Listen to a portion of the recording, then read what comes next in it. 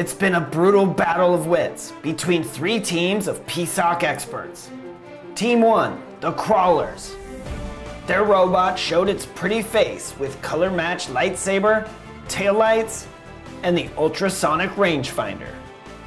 Team Sockbot displayed a PSOC powered Yoda driven lowrider with its own soundtrack and well designed components.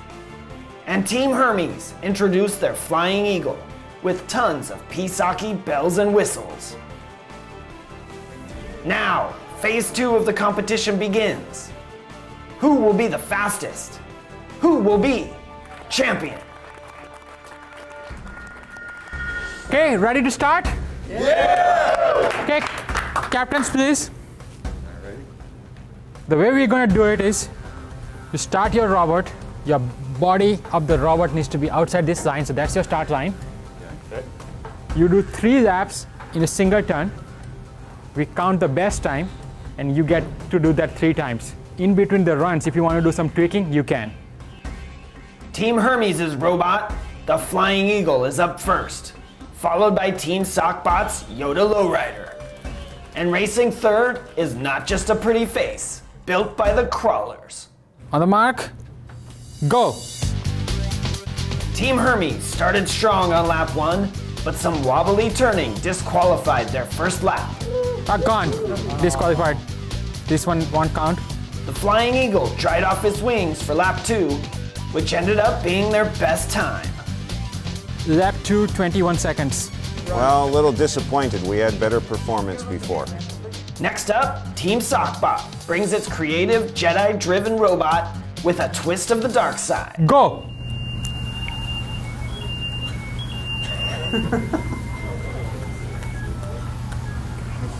the Yoda Lowrider takes the turns perfectly and brings in the best lap of a speedy 13 seconds. So it went really well. Uh, we put it on our safe mode, which drives a little bit slower and doesn't do anything fancy.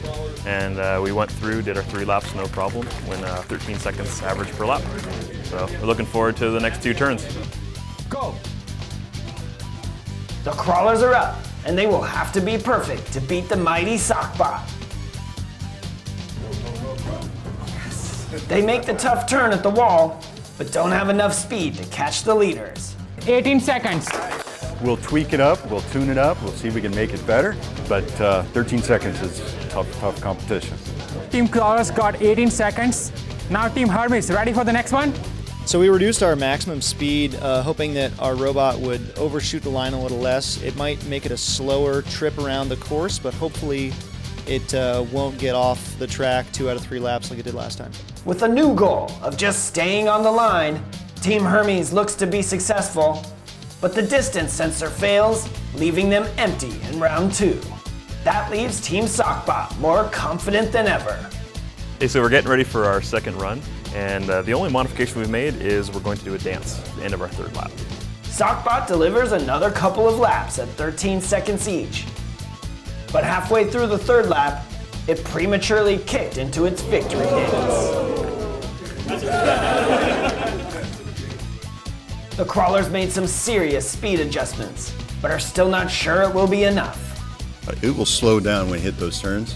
I pulled that back so it speed up a little bit. Then I took some time off my feedback for the wall.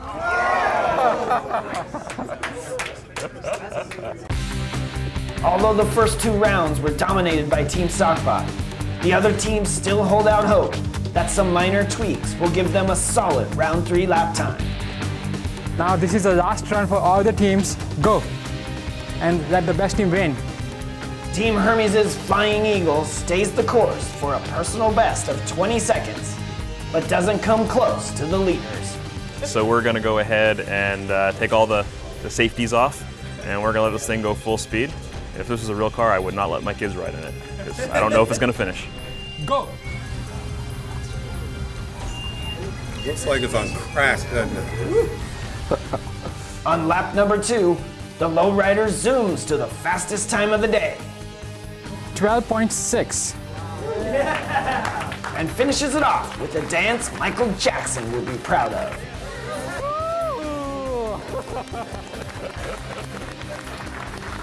with a strong round three by Team Sockbot, the crawlers have little confidence that they will overtake the lead.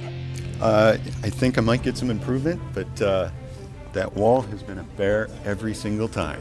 The crawlers finish with a strong round three and a team best 17 seconds. But it's not enough to surpass the leaders. And while the judges come up with the final scores for this two part competition, each one of these teams knows that they built a fast, cool, and PSoC-y robot. Who do you think won? What do you think?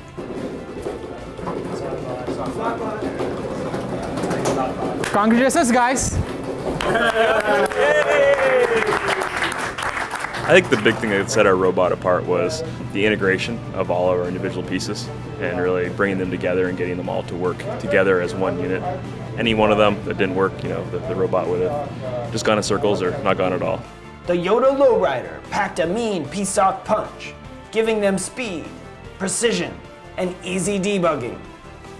They added to that a 3D printed Yoda head, fire wheels, low profile, and a death march, putting them a step above the competition. Well, that was fun. I think everybody uh, enjoyed it, even if they didn't come in first place. Congratulations to SockBot. You guys did a great job, especially in the amount of time. Congratulations.